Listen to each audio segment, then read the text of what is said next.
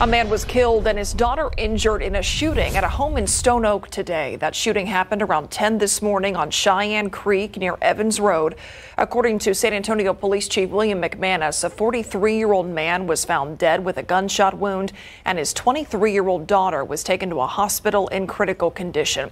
Chief McManus says there is no danger to the public, and he said at the scene that he would not speculate about what happened at that time. McManus did tell us officers have responded to that home in the past for mental health and disturbance calls. And we want to remind you about resources for domestic violence in our community. One of those is Family Violence Prevention Services, which runs the shelter. The number 210 733 8810. Head to ksat.com slash domestic violence for many more resources, as well as explainers on what domestic violence entails and how it builds gradually. Thank you for watching KSAT. If you're on YouTube, remember to like and subscribe to stay up to date with San Antonio's latest news and weather.